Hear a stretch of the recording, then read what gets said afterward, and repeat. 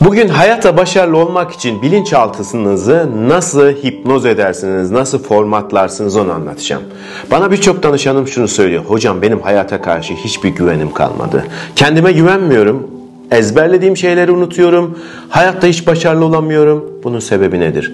Aslında hepiniz dünyaya gelirken son derece güvenli, son derece zihniniz açık geliyor. Ama zaman içerisinde büyürken bilincinizi, beyninizi öyle bir formatlıyorsunuz ki kendinizi ve kendiniz ve etrafınız tarafından öyle bir hipnoz ettiriyorsunuz ki kendinizin güvensiz olması gerektiğinizi, ezberlediğiniz şeyleri unutacağınızı, başarısız olacağınızı düşünüyorsunuz. Aslında mesela zeka ile ilgili bir örnek verecek olursa insanların zekası arasındaki farklar aslında %5'ten daha fazla değildir. Ama bir tanesinin beyninin formatlanmasıyla öbürünün formatlanması arasında fark vardır. İşte bizim aslında son derece gelişmiş bir makinamız var, beynimiz var. Düşünün evinize bir makine alıyorsunuz ama yanında kullanma kılavuzu yoktur. Yani ne olur o makineyi çalıştırmanız son derece zor olur değil mi? İşte bizim bilinçaltımızda son derece gelişmiş bir kompütür. Onun da bir dili var. Onun da bir manuel, bir el kitabı var. Siz bunu bilmezseniz ona format atamazsanız onu istediğiniz gibi çalıştıramazsınız. Peki o zaman ne yapacağız? Bilinçaltımıza nasıl sesleneceğiz? Birincisi biz bilinçaltımıza herhangi bir şeyi anlatırken, bir komut verirken gelecek zamanla değil, şu anki, şimdiki zamanla vereceğiz. Mesela şunu demeyeceğiz. Ben 5 yıl sonra çok mutlu olacağım. Ben bu yaz o kadar zayıflayacağım ki bikininin içine girebileceğim veya erkeklerde six pack karnım olacak. Veyahut da e, yarın şunu yapacağım, öbür gün bunu yapacağım dediğiniz zaman beyin bunu anlamıyor. Çünkü beyin şu anda yaşıyor. Mesela ağrınız olduğu zaman ağrıya diyebilir misin şu an ağrıma diye. Çünkü ağrı şu an olan bir şeydi. Dolayısıyla anda olması gerekiyor. Tıpkı çocuk gibi. Çünkü sizin bilinçaltınız bir 5 yaşındaki çocuk gibidir. Siz mesela çocuğa dediğiniz zaman yarın şuraya gideceğiz dediğiniz zaman çocuk şöyle sorar. Yarın ne zamandaydı? Bugün müydü ya dün mü yarındı? Kafası karışır değil mi? İşte bilinçaltınız da böyledir. Dolayısıyla herhangi bir şey, herhangi bir telkin yapacağınız zaman diyeceksiniz ki şu an ben mükemmelim. Mükemmelim bakın geniş zaman. Ben okuduğum her şeyi ezberliyorum. Ben bunu başarabilirim. Ben hayatta başarılı olabilirim. Ben derslerimde başarılı olabilirim. Benim derslerimde başarılı olmamam için hiçbir sebep yok diye şimdiki zamanı kullanıyorsunuz. İkincisi Olumsuzluklardan anlamaz beyin. Yani mesela biz çocuğa dediğiniz zaman, çocuğa dediniz ki sen vazaya dokunma. Sen sigara içme. Sen alkol içme. Sen kumar oynama. Sen bunu kırma dediğiniz zaman çocuk o vazaya dokunması gerektiğini zanneder. Çünkü oradaki ma eki İngilizce'deki no, not, don't böyle prefiksleri vardır İngilizce'de. Bu kelimeleri çocuk anlayamaz. Yani çocuğa siz vazoya dokunma dediğiniz zaman çocuk o vazoya dokunur. Dolayısıyla da siz de beyninize format atacağınız zaman, beyninizi değiştireceğiniz zaman mesela zayıflamak istiyorsunuz. Ben zayıflamak istiyorum derken veya ben sigarayı bırakacağım derken sigarayı bırakma gibi olumsuz kelimeler yerine bunun yerine olumlamalar meydana getirmeniz gerekiyor. Mesela ne diyeceğiz? Benim süper, fantastik, çok gelişmiş bir beynim var. Okuduğum her şey beynimde kalıyor mesela. Ben tütün ürünleri içmiyorum.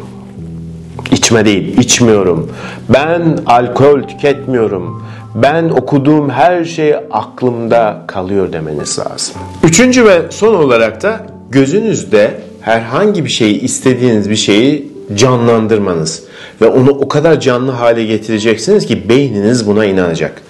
Bana birçoğu anlatıyor hocam biz meditasyon yapıyoruz gözümüzü kapatıyoruz hmm, diyoruz ama bakın bunun hiçbir faydası yoktur sizin geleceğinizle ilgili. Yapmanız gereken gözünüzde, beyninizde canlandırmak. Daha önceki videolarımı seyredenler görmüşlerdir. Bizim özellikle yukarıya baktığım zaman gözümüzde olacak olayları, gelecekle ilgili olayları canlandırırken sol yukarıya baktığımız zaman geçmişe ait olaylar canlandırırız. Mesela 9 kere 8 kaç diye düşündüğünüz zaman sol yukarıya bakarsınız. Kendinize dikkat edin. O yüzden de mesela diyelim ki kilo ile ilgili bir kurgu yapmak istiyoruz. Kendinizi zayıflamış, güzel, basenleriniz incelmiş görmek istiyorsunuz. Bunu öncelikle beyninizin sağ üst tarafında canlandırıyorsunuz. Beyninizin sağ üst can tarafına bir çerçeve yapıyorsunuz. Bu çerçevenin içerisinde kendinizi böyle zayıflamış, işte bikinin içerisine girebilecek düzeyde veyahut da karın kasları çıkmış erkekler için bir hale getiriyorsunuz. Basenleriniz incelmiş, bacaklarınız sık hale gelmiş. Elbiselerin içerisine iyi bir şekilde sığan bir vücut haline getirin kendinizi çok güzel görün ve bunu çerçevenin içerisine koyun. Daha sonra bu çerçevenin içerisinde bunu iyice canlandırdıktan sonra beyninizin yani oturmuş beyninize doğru sola doğru çekin. Beyniniz diyecek ki ya sen böyle değilsin sen kilolusun ne işin var senin burada solda diyecek. Bir süre direnecek ama siz bunu sürekli yaptığınız zaman bir bakacaksınız mı beyninizin sol tarafına doğru oturmuş ve aynı oranda metabolizmanız da değişmiş. Yani kesinlikle şunu düşünmeyeceksiniz. Ben unut, ezberlediğimi unutuyorum. Benim metabolizmam yavaştır demeyeceksiniz. Bilakis benim metabolizmam hızlıdır. Benim her şeyim güzel çalışıyor. Ben çok güzelim, ben çok zayıfım diyeceksiniz. İkinci bir metotsa yine bu görsel tekniklerden bir tanesi. Bu sefer oturmuş bir görüntünüzü sol üstte canlandırıyoruz. Mesela kendinizi kilolu, şişman, şu anki halinizle bir betimliyorsunuz. Bunu sol üste koyuyorsunuz.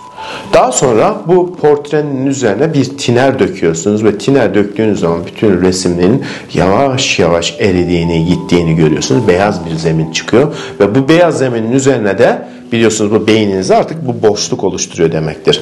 Bu beyaz zemini alıyorsunuz sol taraftan sağ tarafa doğru çekiyorsunuz ve orada da olmak istediğiniz bedeninizi, kişiliğinizi ya da her neyi olmak istiyorsunuz oraya da onu çiziyorsunuz.